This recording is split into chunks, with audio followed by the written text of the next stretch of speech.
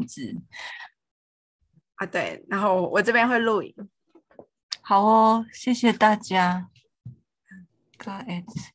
好，嗯，我来分享一下 screen 哦。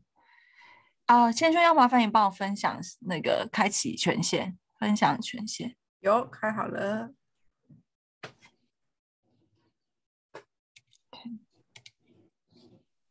嗯，这个 share，有看到吗？各位，分享进画面。有，有哦。好。啊，哎，各位，我们虽然都是我自己的好朋友，但是因为我还是有录影，所以还是要那个，嗯，还是我好，我突然觉得好像还是要正式一点呢。突然觉得，我想一下哦。好，我看一下我自己哦，不要看我自己好了。好，各位，嗯，就是嗯，谢谢大家来参与我的这个小小的分享会。然后，嗯，其实要，嗯，我我先跟你们打招呼好了。大宁吗？大宁，Hello。老王，Hello，Hello，嗨，嗨，还有那个帅男安祖，安嘴。安嘴帅男，你可以出声一下。Andrew，安嘴，嗨嗨，好，OK，谢谢你们。呃，因为这个是一个礼拜六早上，可能没有那么很多人，但是还是没有关系，当做是自己自己家人了，我们自己来分享。然后最近我就是因为，嗯。呃，前一年的时候，呃，大概是我拿我们什么时候申请？去去，嗯，今年，去年年底吧。去年年底，我们跟国议会申请，然后国议会就是在前在去年的时候有一笔经费，就是要特别补助艺术家们，就是针对呃疫情这个时代下这个时时的一个经费，然后希望艺术家们能够经。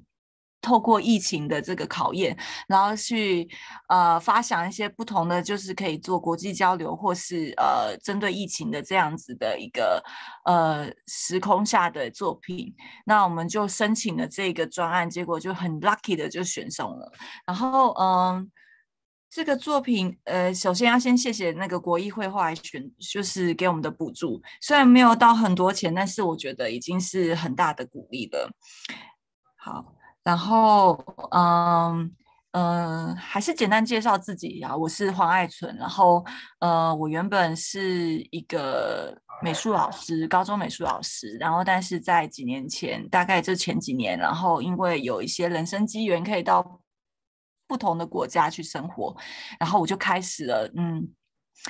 一边做创作，一边照顾我的小孩，然后还有到处去旅行，背着我的小孩，即便是。用背巾背着他到很多地方，我们甚至睡过呃，比如说机场什么的，我带过我小孩睡过机场，反正就是用各种呃客难或是不会很多经费的方式，然后到世界各地去旅行，然后呃，因此嗯。我也开始了觉得，呃，创作必须要更游刃有余一点，然后才美彩必须更弹性，因为我发现我旅行的时候我没办法带着太多东西。以前虽然试过很多不同美彩，但是我发现我带不走的时候，那时候感觉很困惑，所以很很很舍不得。所以我接下来就是因为我的人生会变得非常变动。所以，就你们也认识我，我的时间非常变，我的人生的时空非常变动，而且我现在已经说不准我的人生到底会怎么走了。所以，嗯，我还是会多琢磨在数位的东西身上，因为我觉得数位比较能够随时随地带着在身上，然后可以分享给大家。然后，即便是想要分享到国外，即使我人不在那里，我也可以用数位的东西来分享。对，那呃这阵子就是这几年做了一些动画，可是我要承认自己不是一个专业的动画人。但也是这样子硬干的，干出了好几个作品。我觉得自己真的很有种，有时候觉得自己很有耐心，因为我用了常用用最简单的美材、最简单的技法。其实我的 After Effects 也没有到很厉害，我只会就是基础的那些。但是我也发现，就那样就其实就可以做很多作品。然后，但是我觉得最重要的还是作品里面的内涵，还有你主要想讲的故事。那呃，我也谢谢原本是从呃静态的呃创作者，应该说以前我们在美术系、师大美术系学习，然后主要都是用呃凝结的画面去表达一个时空，或是一个你想要表达的一个意涵，就是可能把说想要讲的事凝结在一个时空里面，但是后来有机会。试着开始重新再把 After Event 拿出来继续做以后呢，嗯，除了交结了自己交流，呃，除了结合自己原本的手绘跟动画，呃，手绘跟电绘那些相关的技术以外，呃，发现时间轴这件事可以多变成一个新的美材，可以做很多不一样的意念的表现。那我这阵子这几年主要。呃，我的创作手法非常简单。其实我常就是从最简单的一些，呃，想象中的一些画面，然后最后就是一个一个把它画下来。但是我还没有像是像以前那种专业的动画人，他们还会做呃脚本的那种，还会想怎么铺成一个故事的去呃起承转合那些。我完全没有做这种。你们就是我后来发现很多动画人他们是很讲究，呃。脚本的安排铺陈，然后发现我的我的制作的我做的做的过程，其实是跟大家有点不太一样的。那呃，所以我会觉得我作品有点像呃拼贴式的东西，就是几个意念，然后几个呃我觉得很重要的画面，然后我想要把它就是随意的剪接排列。有点像蒙太奇的方式，然后去做，然后有点有点类似像类似像一种影像式的表现，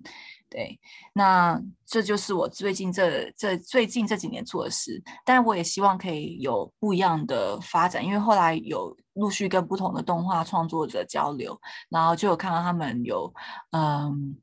即便是走商业的。那我都觉得给我很多新的想法，所以我还会继续再发展下去。那刚好这一次有这个经费，然后我们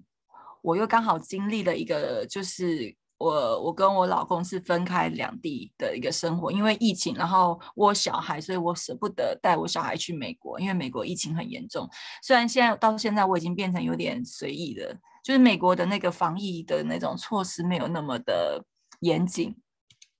你们知道有多不严谨吗？你们想听吗？就是比如说像我，我们这边他们有一些俄罗斯朋友，我老公还有一些俄罗斯朋友，然后有人是在那个呃 preschool，嗯，托婴中心工作的老师，然后他们就是比如说有一个小孩确诊，那他们就是隔天就是去医院去检测，只要是阴性的，再隔一天又可以回来上班。嗯。台湾人哈，台湾人就很惊讶，然后他还回来找我们，跟我们聊天。哦，我今天放假，因为我今天，因为我今天要去，我今天去检查，我是阴性的，所以我明天还可以再回去上班。所以就很很扯，就是 我现在已经有点放弃，而且我之前还有跟人家吵架说戴口罩这件事。然后我们还有在那个路上，我在西雅图的路上也有看很多人游行，就是我带我女儿去去去看什么圣诞节的装饰，最近圣诞节，然后就有看到刚好有游行，然后那个游行就是反戴口罩、反疫苗、反这些东西的，对。我我吵我我我我我吵不过他们，所以我就算了，就把自己的口罩戴好。但是我觉得我在的地方还是好一点，就是啊，政府都有规定说要戴口罩那些的，就是你进入到呃室内要有戴口罩，然后呃进入到一些公共场呃室内的公共场合都要秀出你的疫苗卡。对，好，那呃因为呃做因为时间关系，所以。我就把我过去的作品，就是这是我过去的作品的风格，那跟这次要做的风格有点不太一样，但是还是分享给大家看一下。那这个因为时间关系，我就不播放了。那另外我要介绍我的另外这个计划的另外一个呃我的好伙伴叫芭芭拉。芭芭拉王，他是我以前教书的时候的学生，就是在我二十几岁、二十四岁还二十五岁的时候教书的时候认识的学生。我想大概二四二五的时候，对他现在已经是一个呃非常厉害的一个行销计划的一个呃专员，所以我这一次刚好就是之前有跟他联系上，然后他的时间也比较弹性，就是跟我一起来合作这个专专案。那我请他自己分享一下，介绍一下自己，还有对于这一次的计划他的一些想法。对，好，大家好，我是芭芭拉。对，然后我在这次的像展，我就是负责做摄影跟剪接。然后我想说，我可以就是分享一下我自己的个人的经验，就是我以前谈过的恋爱也是，就是远距离恋爱，但是可能就是台北到南部这种，跟他们比起来，就是还是算蛮近的。对，然后呃，所以就是在这一次就是可能受访啊什么的，然后我就觉得，嗯，就是这些跨国恋情，他们都就是他们不是说啊我很想你，然后就可以见到你，就是即便现在不是在经历疫情，就是对他们来说也都是很困难的事情。然后在过去这一年，呃，就这一两年，那我可能也有一些朋友，他们是。呃，远距离的恋爱，然后就会很常看到他们在 Instagram 上面就是分享，然后他们就讲超久的电话，然后不然就是一直在疯狂的视讯什么的，然后呃，我自己就会觉得啊，他们就是很辛苦，因为可能我自己就会想说，即便就是台北到南部，我都会觉得啊，好想要现在就有人陪我，我现在就想要见到你这种感觉，对，所以我就会觉得啊，就是很感动，然后。呃，我觉得尤其是在我这个我这个时代嘛，就是我现在二十五岁啊，所以呃，我身边的人可能你想要有，就是你觉得很寂寞，你觉得想要有人陪伴的时候，你其实你只要打开你的手机，就是你下载个 app，就是你很容易就可以找到一个可以跟你去 dating 的人啊，或者是你你想要一起去看电影啊，就是随便，就是很容易就是可以找到一个人陪伴你，但是嗯。你就会看到这些人，他们就是就是守着自己，然后等待他们的另外一半。我就会觉得啊，他们愿意花时间，然后去相信另外一个人，然后去啊去等待。然后我觉得这是需要一个很强的，就是爱的信念跟意志，然后才有办法去做到这件事情。对，所以嗯，就是。看爱纯就是他透过他自己的自己的经验，然后去做出这样的动画。然后，嗯，我这边就是结合一些大家的故事，就是有经历这样子的呃状况的人，然后他们愿意分享他们的故事，然后他们的心情这样，然后就是想要鼓励，或者是用另外一种方式，就是陪伴这些呃现在没有办法就是即刻见到对方的嗯。可能有点孤单的这种爱侣们这样子，对，那这就是我大概就是呃展览的心得，对，哦，所以我我觉得就是。因为在场各位都有我的朋友们 都是有恋爱经验的人，然后我觉得就是嗯，分隔两地的两个喜欢的人必须要非常巨大的信任，那个信任必须非常非常巨大。只要你有一点点的怀疑，你就会很快就被摧毁了。对啊，所以我觉得嗯，我要谢谢这个疫情，让我觉得嗯。让自己变得比较坚强，因为就是嗯，因为你会相信，就是生活就是这样，困难就是这样，困难就是这样子，呃呃，考验着你。如果如果你不去面对，勇敢面的话，你是不可能。就是它是一个很好的机会，让你强化自己的心理素质。我常那时候在呃，我其实常常有时候自己脆弱的时候，常会说。我要强化我自己心理素质，要让自己心灵变强大，心理变强大，因为我这样才会长大什么的。对，好，这就是嗯，好，那我简单介绍一下，就是我们就是嗯，因为我那时候想过疫情，然后我就想，那我想做一个有关这样子的这样子的呃故事的角度。那我刚好就是看到这个有很多异国恋的那个情侣们。就是他们，就是当时我们好像去年的时候，呃，今年或去年的时候比较严重的时候，比较严谨的时候，呃，还有疫苗还没有普及的时候，是没办法说嗯，说进来或飞到台湾就是就飞，所以说其实很多国家的异国情侣是分不能相见的，而且那种感觉是，而且有时候就算是可以相见，其实你可以来，但是他们也会害怕害怕，就是呃因为移动而产生的各种呃疫情的风险。那那其实当时有有一个团，有一个呃有一个发起人，他就是说，Love is not tourism，就是发为这些人发声，就说可不可以有这种呃像是呃伴侣的签证，然后争取这些人可以进入台湾团聚，但是在有条件下的隔离，就比如说有隔离，然后有有有检验，然后还有充分说明真正的关系的证明。对他们真的是情侣的关系，这些证明。那在国外海外是的确有些国家是欧洲是有些国家是的确有核准这样子的，那当时还没有，但我们现在应该好像已经有了。然后而且就是现在因为有疫苗关系，所以现在已经没有那么的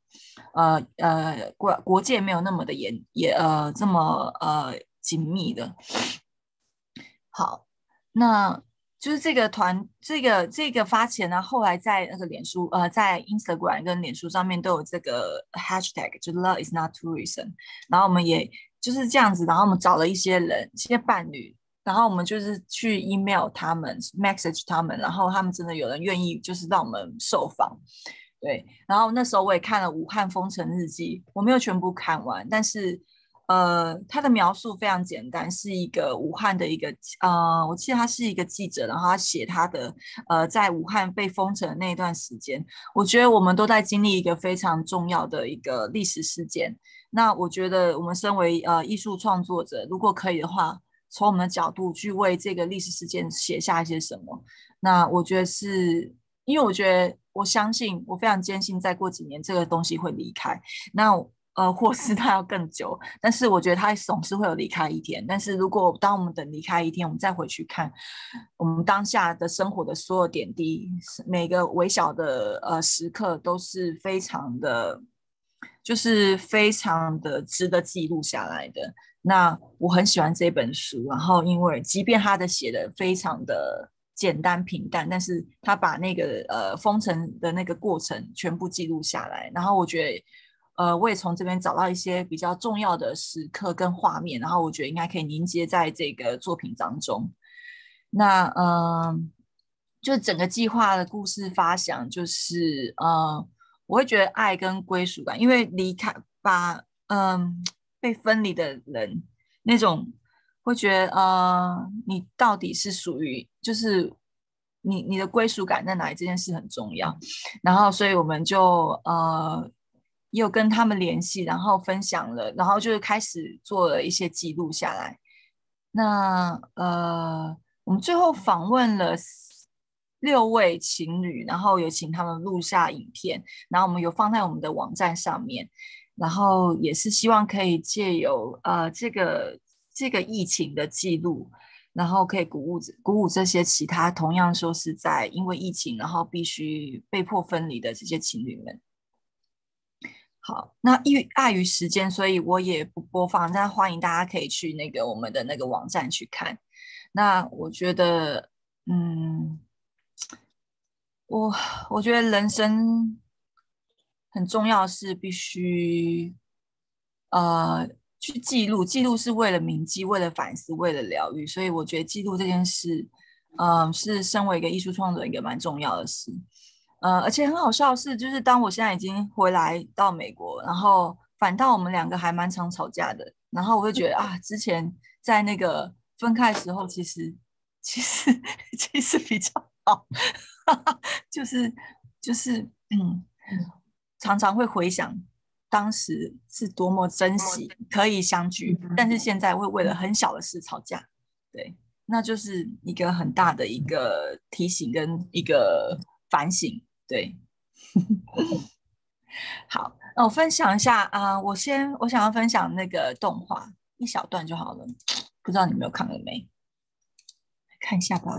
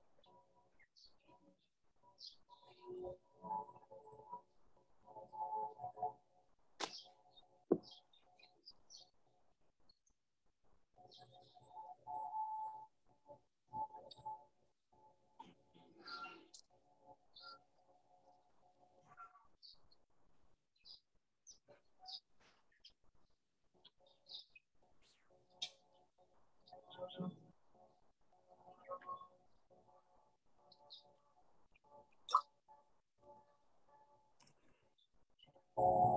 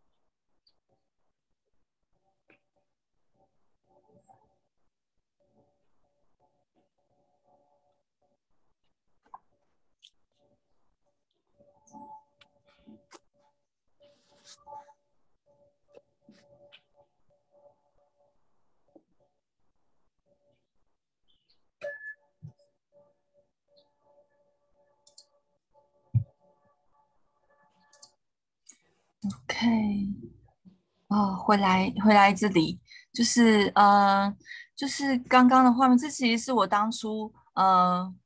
我每次做作品的时候，我就是把我想到的重要画面都画下来，就是这样很简单，画一些呃，我收集了很多疫情时还时时期我们的一些重要的呃生活习惯，比如说。呃，社交距离，然后消毒，然后戴口罩，还有呃，还有每天要看，比如说每天下午两点打开新闻频道，要看陈时中报告报道，我们今天到底多少人确诊，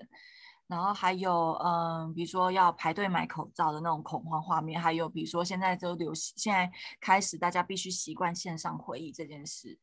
嗯，就是诸如此类，然后。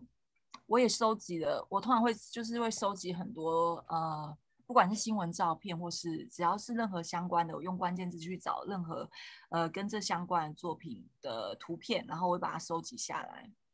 然后会从这边去找灵感。然后比如说像这个也是我很喜欢的，所以我把这个泡泡放在我的作品的最后面的一个结尾，就是大家都用一个社交距离的空空间的泡泡，然后去把。呃，人隔离出来，但是最后我们是相两只手想要接触，就像那个呃，像《创世纪》那样子的那张作品，你看就是《创世纪》的作品一样，手跟手接触，最后人最终是要能够拥抱跟接触在一起，因为真实的的碰触那个感觉是无法用虚拟的荧幕去代替的。嗯，我就看到一些照片，我觉得蛮蛮棒的，然后我就把那些画面记下来，然后希望可以放在作品里面。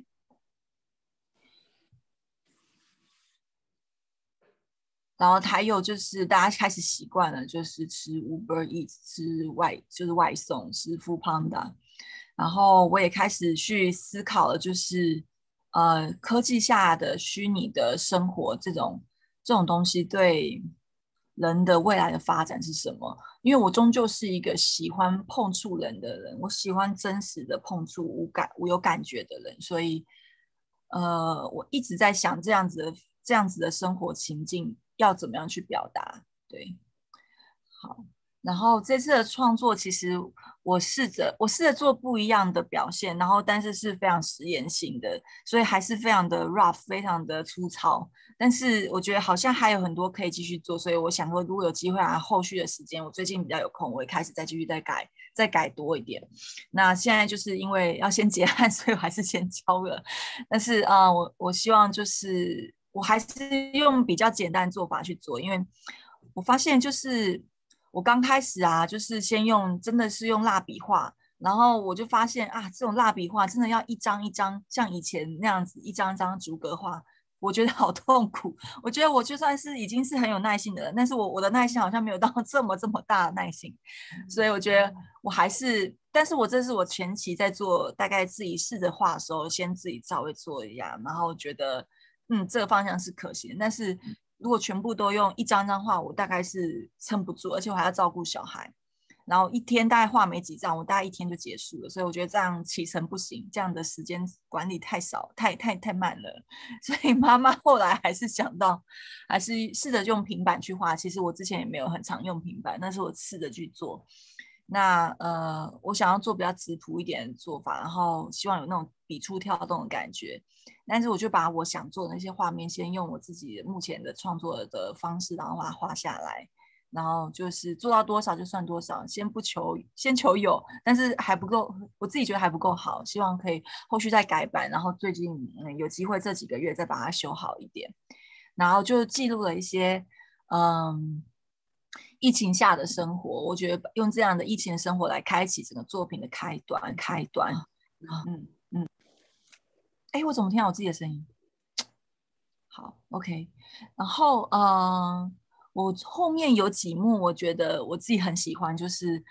我因为我我小时候一直记得那个碧潭，台北碧潭小碧潭的那个天鹅船，然后我觉得天鹅船是一个，就是我一直想故事结尾要怎么结尾，就是这个故事我想要就是黄爱纯就是 划着天鹅船，因为天鹅船是象征的爱情，然后这样划划划划划。即便这个天鹅船经历了很多地方，就像刚才画面有看到的，然后最后，而且那个天鹅船是用一个泡泡，彩虹泡泡，所以哦，我们要关关闭了吗？好快！Oh gosh，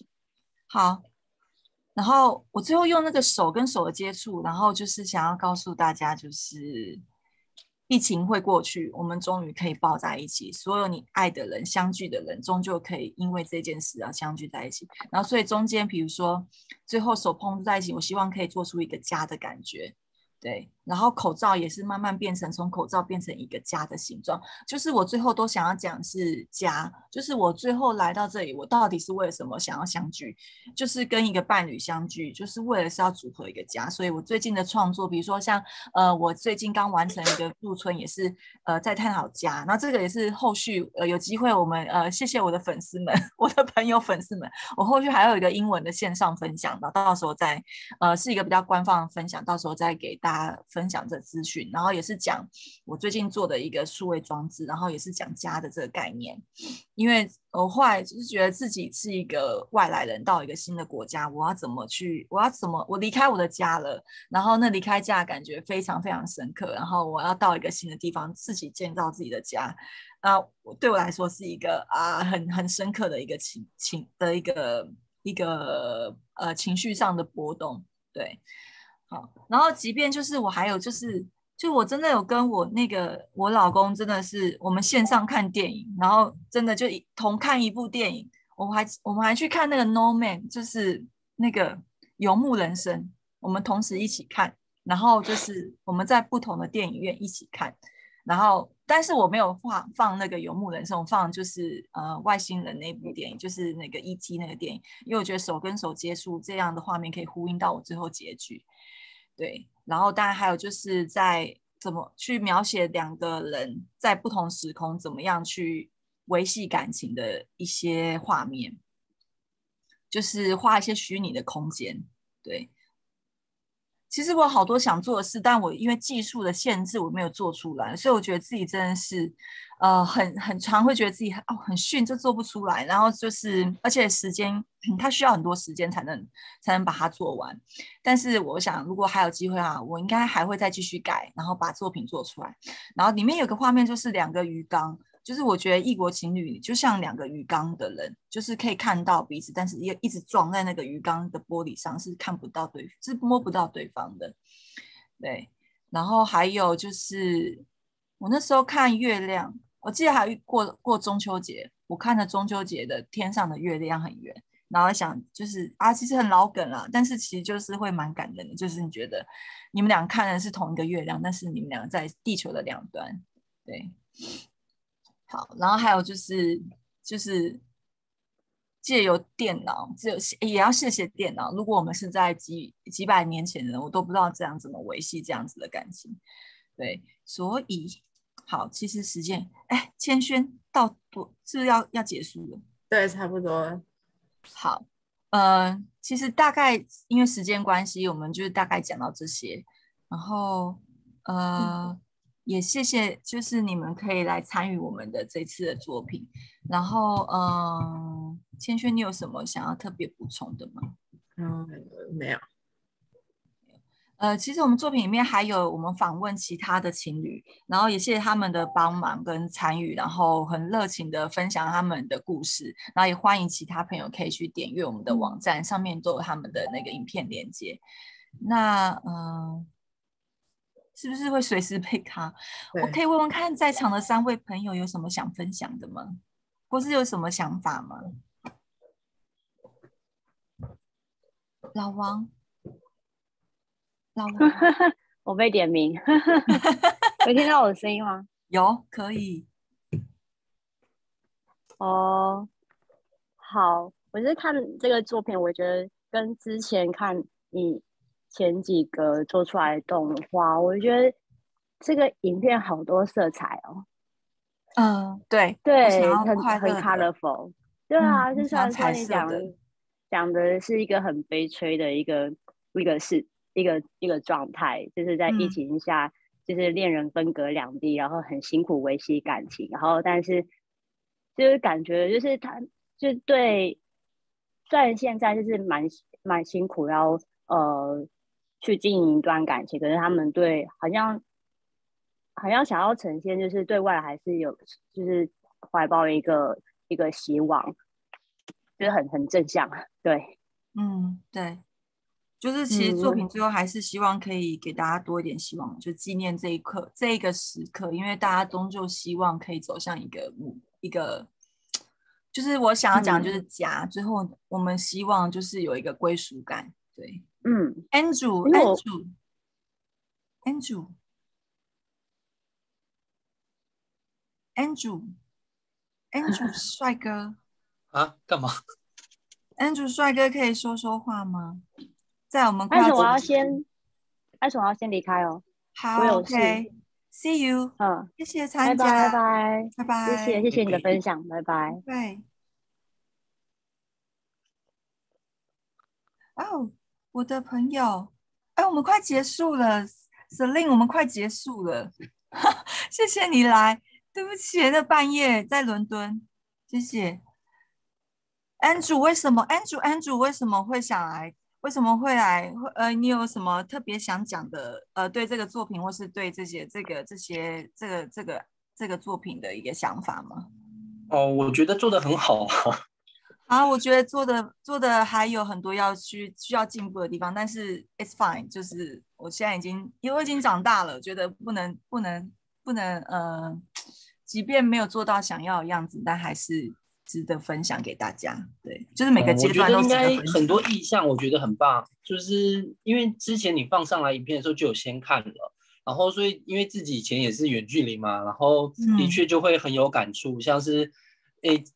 鱼缸里的金鱼这件事情，或者是一直有一个看得到脸，但是无法碰触的这种很深刻的连接。那我觉得就是在当然技术上会很期待，就是因为在看的时候就会很期待，就哇，因为每一幕真真的就可以知道，就其实背后有很多的想法在里面，然后你就很期待说哇，下一幕会是什么？下一幕会是什么？那你就觉得哇，时间很短，就很期待，就是可以在越做越。丰富这样，因为我觉得作品真的很精彩，然后是一个让人会很想要一看再看的作品。但就是可以理解，刚刚艾纯提到说，哎，可能时间不够，或者技术上限制，或者是有的时候可能要处理你你这样子就没有办法，就是全新的在作品上去，呃，再冲刺。但我觉得也很期待说后续就是如果真的有继续修正什么话，有任何更新版本都拜托请分享。好啊，好啊。哎，我常常不想分享，哎，你知道吗？我常常不想分享作品，你知道，我我我有时候会有自卑感，哎，你们不会吗？你们各位创作者不会吗？那你多分享一点啦。哎，我跟你说，我都是没有没有做好，我不会分享出来，就是没有做到一个程度，我就不想分享。我是很很那个啊，我是很很纠结，我是我是不是？而且我觉得现在分享就是你必须被公审，那我就被公审的感觉很恐怖，这样。哎，我觉得可以一天内先不要看留言，但是 你贴完之后就放着。对，但是我现在觉得好像也没什么，因为我觉得在这边创作人，就比如说我来美国跟美国的艺术创作者跟他们分享，他们都好好正向哦，他们就他们都好正向，我觉得只不要不要浪费时间，就是分享吧，反正喜欢就喜欢，不喜欢就不喜欢，没有关系。然后反正这就是一个过程。对，嗨，大宁妞，大宁，谢谢谢谢你来。谢谢我大林，谢谢你，那个恭喜你刚完成你的作品的那个展览，我很想很想去。大林也是很厉害的创作者，我在我在传照片给你看，因为那个展览很很短，就是你 那个展览非常接地气，就是呃呃什么呃大大大林那个作品的呃，我的是一对团。嗯，我是那个卫生的冬暖夏凉，就我访谈台湾，就是呃几位卫生组长，然后他们就是陪同学一起捡大便跟 扫地的故事，就是，哎，我我我现在就是在国外，然后我就觉得我看到台湾的东西，我会特别特别的有感触，就是我觉得那是我成长背景，我现在会。啊，认真的把自己，因为在不同的空间，我会认真把我自己在台湾成长生生长的东西，我会想办法放到作品。我现在会更特别认深刻跟而且慎重的要选择这些东西，即便在台湾人眼里，那就是不得不值得一提的小事。但是，就比如说大宁，你把它特别提出来，大家就会会心一笑，而且那种会心一笑是只有我们在这个时空人会了解的。对我觉得这件事。就是可以试着用不同的讲法，然后让不是这个文化的人也可以去看到这样子的很细微的文化的小事。我觉得跟自己的创作也是很像，就是嗯，就是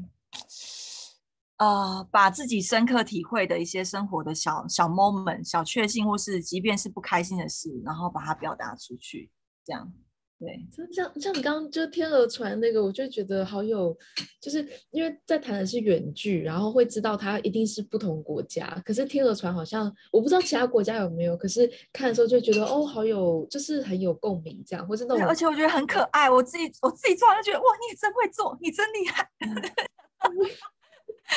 但是因为天鹅船是谈恋爱才会去划的船，对不对？所以它很有意义，它很它很重要的。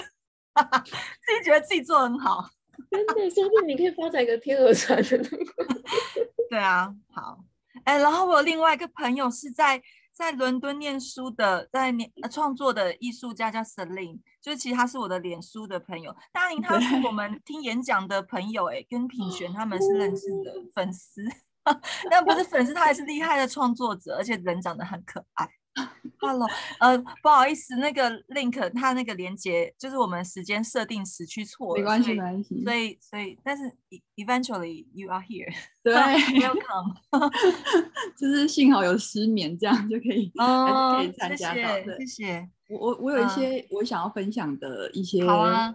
对对对，我的我的我的感受就是我自己跟我先生也是我们。哎，我们已经结婚了，然后我们在哎交往六年，然后我们一直都是台北跟高雄远距离，然后后来他去了美国念硕士，就变成台台美远距，然后后来他就回台湾之后又被我就是抓了一起来英国这样子，对，然后所以我就在觉得在看你的作品的时候，我就觉得就是。就是真有一种酸酸的感觉，但是我也可以体会说，现在已经两个人五十就二十四小时无时刻都在一起，然后就觉得，哎，好像以前那个远距离，好像有一些没错，就是 我现在也会跟我老公吵架，就是有一个磨合期，就是你又再再次真的生活在一起的时候，有一个磨合期，然后你就觉得，哦，gosh，就是。我突然觉得之前分开是挺是是很棒，因为我们是个别的个体，各自的独立的生活，然后独自己独立生活就觉得不会有人帮助你的时候，就不会去纠结这么多。那但是如果在一起，你会觉得啊，他都不帮我打扫，或他都不帮我家事什么，有时候就是为一些很小的事，然后觉得就在生气，要磨合。对对对，然后你就会想到啊，到底为什么当初这么呃为了什么而来？那而且我们又在大家都在呃不是在台湾，不是在台湾的时候，你就觉得没有人支持，没有心理上的支持，不只是无形跟有形的支持，心理支持上你就会觉得很。很，你就会更怀疑自己存在，为什么要来这里？你存在在这里，在为什么？对我常常一直问自己，嗯，对。然后你刚刚说那个，就是到了国外之后，就会开始反思台湾的一些元素，想要带进创创作里面。就是对，还有就是在面对 作品的时候，我觉得好像我不知道是不是因为我有这样的感觉，就是我现在在李兹念博士班这样，然后。呃，就是我跟教授之间的沟通，就是因为我的创作的主呃，我研究的那个范畴就是台湾的身份认同，对，所以我就是一直想要带入台湾的元素，对，但是在呃表达自己方面，我也会觉得蛮没有自信的，就是我给教授看作品，可能会需要是我呃思考过，或者是我已经实验过，我认为是成功的作品，对，但是他们就觉得就是其实没有必要，对，就是。就即便他他他们那天也跟我说，就即便你做的东西是垃圾，就是他们也不 care，就是但是我就是要去尝试，不要想要把作品做的完美，对，就是那个过程也是很重要，然后我应该要去享受它，所以我觉得对对对对，那个演讲就是非常有共鸣，对你讲的很好，对，呃，我不知道，我觉得。在场都是创作者，应该懂那个就是内心的纠结，就觉得自己做的不够好，然后还有就是很在意别人的评价，然后还有就是我到底做这个创作到底是为了什么而而发而发表出去？因为艺术创作最终的目的可能是疗愈自己，在做自己，记录自己的人生，然后而且也是用另外一种方式去表达自己。嗯，但是我终究都很感谢我们有这个机会，有这个饭碗，就是有人愿意付一点点钱，或是你有一点钱，可以，嗯，用你的说话的表现的手法，无论是在创作各种美材，然后说自己，说自己看到的世界。那我觉得这个这个能力很重要，就是我在过去教教学生教书的这个经验，我发觉就是。呃，能够用自己的话语说出来，无论你是用哪一种媒材、哪一种媒介去说，都是很重要的。然后我觉得我们刚好是在这样子的疫情的这这个几年，那我觉得值得把这几年的生活的改变，然后记录下来。对，那就是我觉得做这件事、做这个计划的发想跟缘起跟目的，同时的也是目的。对，然后也是因为离开的离开国自己的家乡环境。所以就特别意识到，就是呃自己的认同感，还有归属感，还有要把台湾自己的文化的记忆，自己真的经历过的记忆，然后放到自己的创作，是未来一定要做的事。因为就是现在越来越觉得自己身为台湾人，就是很骄傲。而且我跟很多比如说俄罗斯人聊天，或是俄语系的人，他们都很讨厌自己的国家，然后才发现我超爱我国家。真的，真的，他们都是讲自己的国家多糟糕，然后他们说他们好想逃离这个地方，逃逃离那个国家。然后我就跟他说，我们台湾多棒，多棒，多棒，多棒。然后我才发现，哦，我很幸运，我生在一个很好的国家。对，这这可以讲很久，但是就是嗯，大因为时间关系，大致上就是因为认识了一些其他的人，然后可以让自己更看清楚自己在，我自己很幸运哦。By the way，刚好分享给艺术家们，就是我有问美国的那个，我因为我来驻村，然后分享那个艺术家，他们的艺术艺术工作者跟我说，美国不像台湾有文化部有国议会可以补助，所以我超谢谢，就是台湾有很棒的政府，就是 还是有给钱，虽然不多，有时候就十万、十五万，但是你们知道他们根本没有，他们政府没有这种钱呢。我问了，他们没有这种钱，我不知道英国有吗？指令英国有吗？就是官方像文化部的东西可以申请钱。英国有，但是就是都是给他们的当地的，就是英国人，就是外国人是很难申请到的。对对对对对，好像也是。像文化部有些的专案也是有限制，就是只能给台湾有台湾身份证的人，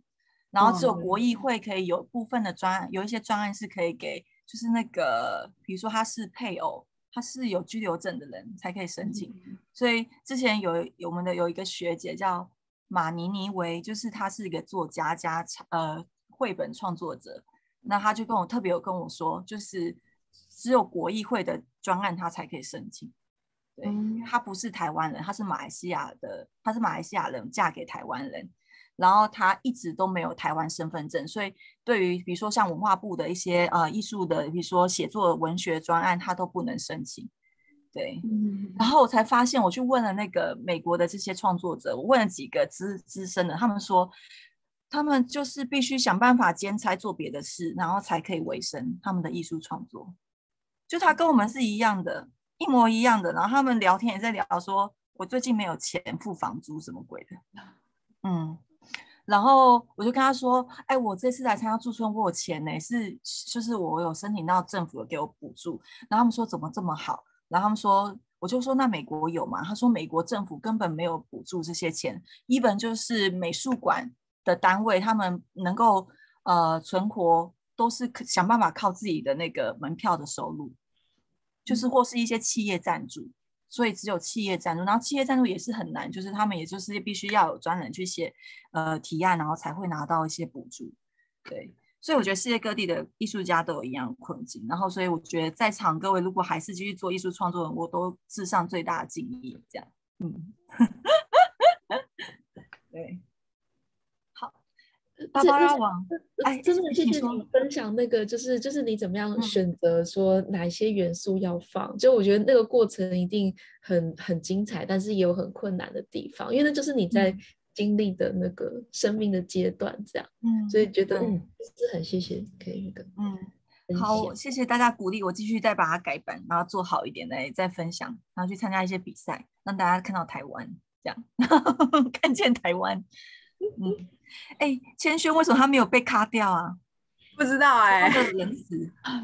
那我们可以去大聊吗？现实，真的假的？Why not？Why？Why？So？那呃，那那那天啊，我太随意了。Selin，你有想聊什么？因为我我跟你我想要问一下，我我想问那个大大明是做的那个展览是跟卫生组长有关系是吗？哦，对对。就是它是一个什么样的展览？它是它是呃它是叫桥洞计划，桥就是桥就是桥洞，然后然后它是一一群人，他们有建筑设计跟视觉艺术的背景，然后所以他们今年也是申请到国艺会的那个年度展览专案。然后，呃，他就找了就是不同的创作者啊过去。那我的话就是因为等于说在建国北路那个桥下，就是真真的很台北，就是很多桥下空间会被使用成他们说垃圾场啊，然后呃就是阳光加油站，就是洗车或者加油的地方，然后。还有呃停车场这样，就是等等，然后还有巴德市场，所以我们其实，在巴德市场旁边，然后我们每个人可以就是，嗯，就我们主要有三个人是做计划型的创作，然后其他有是就是一一周的那种展览这样子，然后所以呃，所以就是等于说在桥下的时候，我我选的地方是就是他们会打扫的地方，还有会就是放收，其实是放收水的地方这样，所以然后因为我就觉得那种好像走过很容易。会会忘记，因为在桥下大家都是 U turn，就是开车可能转弯的时候会刚好瞄到这样，然后经过的人都很快，尤其在疫情的时候也是很闷，就是台北就大家都戴口罩，更何况是在那种公共场合，所以我就觉得好像很适合在那边讨论一个清洁的的故事这样。然后那时候也是托品璇的福，其实是 品璇帮我介绍好好好几位，就是在学校。担任卫生组长的老师，这样，然后他们就就是因为我觉得那种情境很像，就是因为清洁好像只有在它不干净的时候才会被注意到，这样，就是这是用录像的方式，就是录访谈的方式去哦，我我呈现吗？我我是把那那个收回收跟垃圾的区域就是布置起来，然后有一组就是电话号码。然后打过去可以听到一段故事哦，因为我我觉得很有趣，是因为我之前也曾经是卫生组长。我 天哪，是的，你也是老师？对，就是我在我之前在国中的时候，就是担任卫生组长。我想说，哎，怎么这么有趣？有人会想要找我们做访谈这样？我好开心哦！那那我可以传东西给你吗？虽然你在伦敦，那我可以传那个。哎，那爱爱存，反正就是大家，我可以传电子。可以啊，可以聊啊聊。我也想回应，我怕被卡断。如果我们被卡断，大家不要介意哦，不要不要 不要不要害不要不要不要见谅，对，请见谅，因为我也不知道他什么时候会卡断，送什么时候会卡断。但我想回应这个，就是因为我来来美国，就是我现在是在西岸，然后我跟你们说。因为 Andrew，你以前在 New York 吗？纽约海外留学学子，所以纽，我觉我认真觉得，就是西岸的艺术的程度再降一点。对不起，我给他们评价。对不起，我不要，我要拿到评价。但是如果真的要比，就是我觉得，大你知道，我觉得台湾的展非常非常好，真的，台湾展，而且台湾展很多不用钱。美国展又贵币就是都要三十块美金，然后二十五块美金起跳。好贵，是演唱会的钱哎，超贵。但重点重点不是贵，重点是值不值得。如果它非常好，我我愿意花这个钱。但是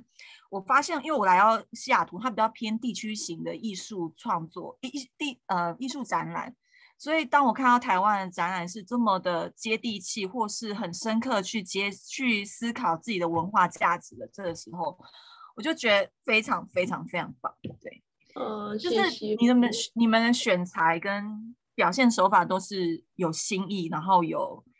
但是又连接到自己，连接到自己这件事很重要。就是我现在会很在乎这件事，然后，然后你怎么去诉说，用你的说法怎么去表达你看到的物象，这样无论是用各种媒材去组合组织，然后怎么样跟嗯观众去互动，嗯。我在美国比较少看到这样子的作品，所以我觉得就是你们做的超，就是我觉得台台湾做的展超好的。就比如说我去看北美馆的展，然后都觉得这程度，我去那什么，这要去哪里看啊？然后去纽约才看得到吗？Andrew，你有在纽约看到超级赞的展览过吗？就是我想，我这辈子怎么看到那么好的展览？是，但他们那边是蛮多 gallery，所以是很好逛的。对，就是比较商业气息，然后就是你们懂吗？那种商业气息跟那种真挚的从心里面，呃，他不会赚钱，但是你就觉得哇，你人生有花这段时间那么一天的时刻在看这个东西，然后去回顾你自己人生的连接、生命的连接的，我就觉得这个作品存在很有价值。对，就是我现在都会用这样子去反看自己的作品存在有没有价值。如果没有价值的话，那我这个作品浪费时间在这个东西上，而且我也浪费其他人的时间，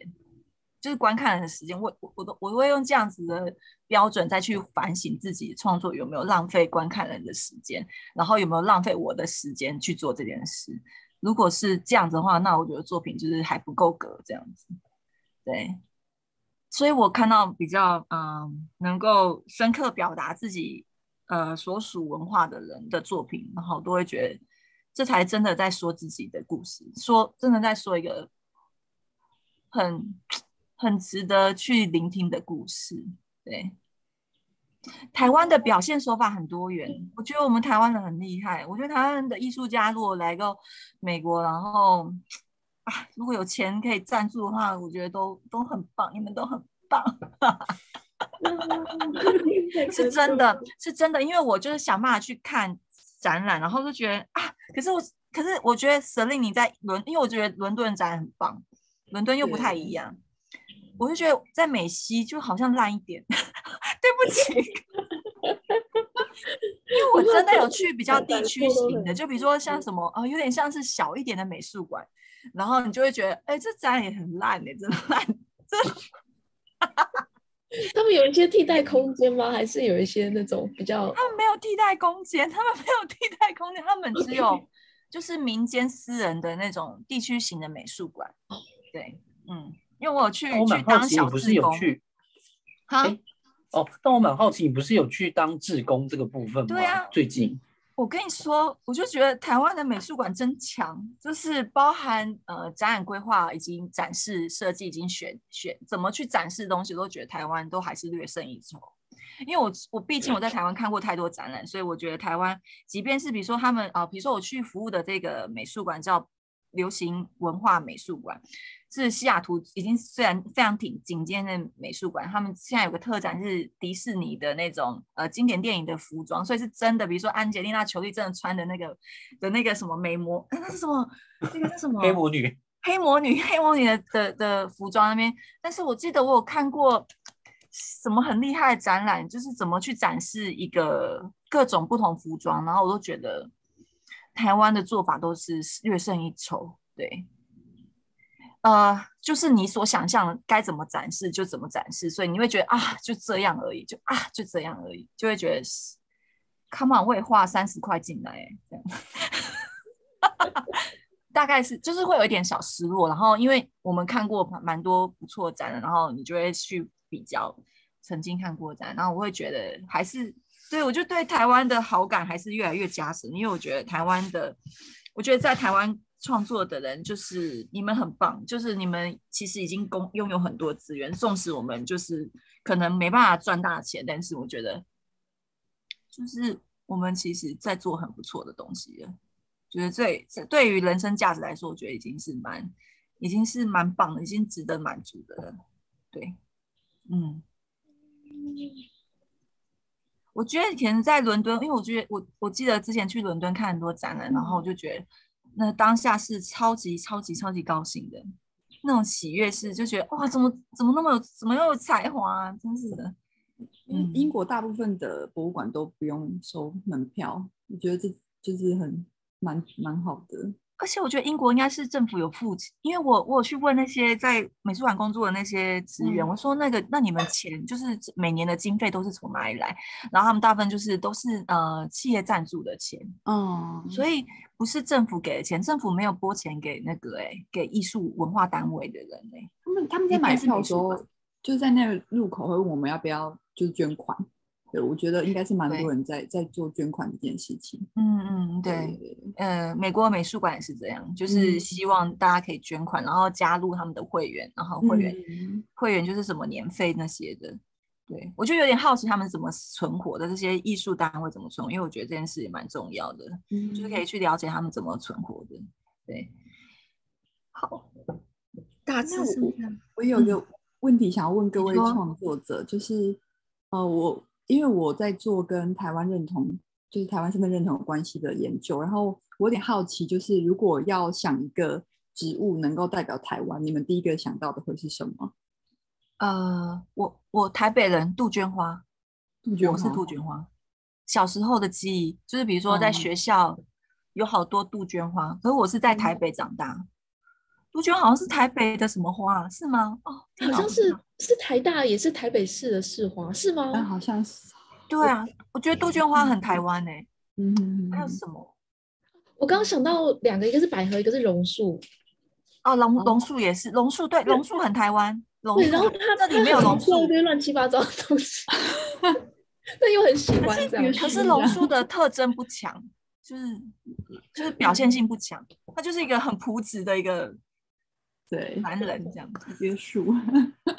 因为我也是想到一百合，因为就是之前做一系列的那个创作，就是台湾野百合也是蛮有代表性的特有种这样子。然后另一个就是想到番薯。你好老梗哦，你们有点新意啊。我觉得我觉得蛮有趣的。我现在问到台湾人，大家说的都蛮不一样的。有人说兰花，然后也有人说梅花。哇，梅花！可是梅花不常看到啊。对，其实梅花很少看到，但它就是我们的那个中华文化认同。对对对，会国国民 党。我还想到是那个瓜帮灰，就是哦，对，这个也超级天哪！就是我我我阿妈家在林口，林口有很多尖芒花。哦。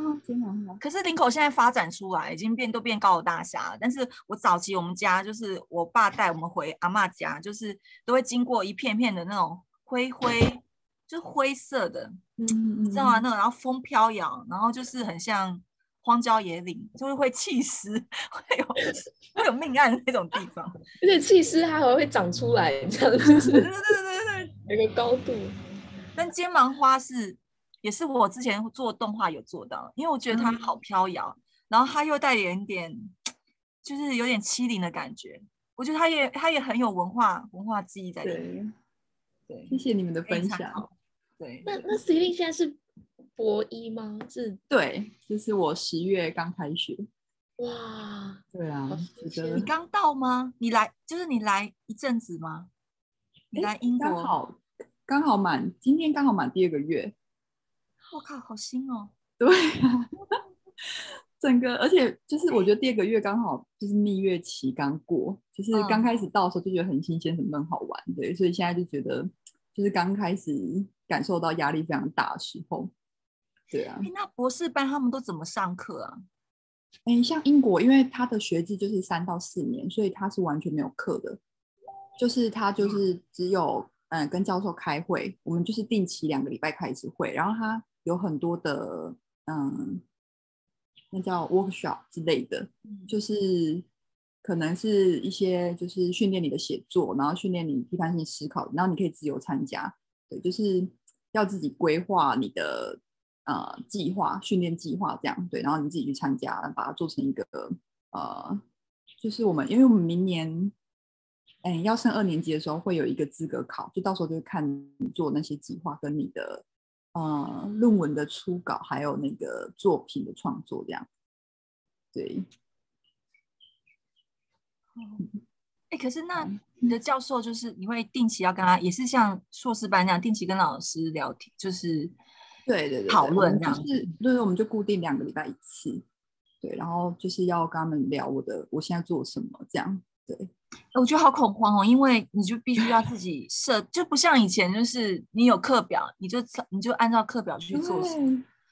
就自己要自己做的时候，你就会，我觉得有点恐慌哎。对，我觉得最难的，真的对我来说啦，就是时间管理这件事情。对，因为完全不需要休课，等于其实就是好像在上班的感觉，但是就是没有没有下班的时间，也就是一直在思考说我到底要怎么创作，然后我到底要念哪些书，跟我到底要怎么做连接。对，但是他们都会说，就是我觉得英国的教授还蛮会鼓励人的，他们就会说叫我相信他们，然后跟着他们的脚步，就是因为我就一直说我很。我很有压力，然后他们就觉得，就你才第一年，到底为什么有压力？这样，对，对啊。英国教授不是很批判型思考吗？就是我之前遇到的。嗯，我有我我有两个导师，就是两个教授一起指导我，然后有一个比较批判性，就是嗯，对，讲话比较直接，然后他会问一些一针见血的问题，对，就是你为什么要选择这个这个材质？那它跟你的论述有什么关系之类的？那另外一个就比较鼓励型的。对，就是可能我不知道是不是他们有刻意这样搭配或怎么样。对，嗯，英国的路上大家都戴口罩吗？没有。天哪！Gosh，呃，我觉得一开始大概只有三分之一的人戴吧，就是你在路上看到几乎都是，就很少人在戴。然后好像有一个新的变种病毒出来了，然后英国。呃，对对对，英国十四例，然后那个新闻一出来之后，就是大概有一半的人会戴，对，就是大家蛮做自己的，就是很很不爱戴口罩，对啊，嗯，而且那边也有那种，嗯，美国大家会戴吗？呃，看州，就是比如说我在华盛顿州就比较严谨，比较好一点，所以我觉得如果要来玩，可以来华盛顿州。然后，但是那个比如说像我朋友他们去。德州，那德州他们那边人就是很多人是反反疫苗、反口罩的人，他们就是，啊，我有点不太想听他们讲为什么，因为我听了就会生气，然后就就是我不想听他们那边那边鬼扯说什么什么什么，为什么不带疫苗，什么什么，为什么不打疫苗什么之类的。但是简言之，就是在德州，只有一成的人戴口罩，无论是在室内、餐厅或者在任何地方，就是非常极端。然后，但是在有些州，它就是比如说像我在这个州，就是我觉得至少还有点有规范一点。然后我们都要秀我们的疫苗卡，如果进入到餐厅，或要进入到美术馆，或是任何公共场合，如果政府单位办公室都要秀，要戴口罩，然后要秀你的那个那个疫苗卡。但是他这边也接受布布的口罩，不一定要 med 不用 medical 呃不用 surgical mask。对，嗯，突然觉得有点没用，但是算了，就这样吧。对，至少算了。对啊，大家都疲疲倦了，嗯。而且我现在觉得，就是呃，没有戴口罩，好像就是我有时候会觉得，为什么你没戴口罩？我就觉得啊，我我太那个，我太我太用台湾的姿态去看其他国家的人，嗯，懂吗？就是因为他们觉得我一直很觉得我们很很骄傲，我们自己很棒，防疫做得很好，什么什么之类的。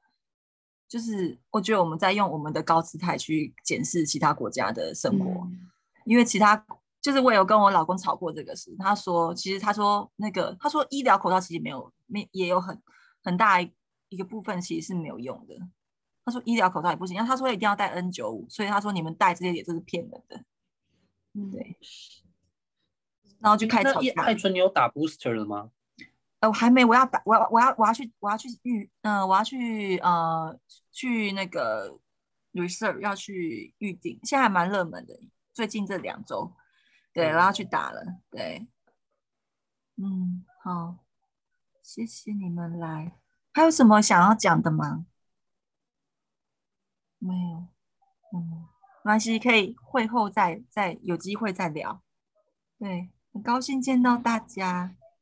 对，差不多要去睡了。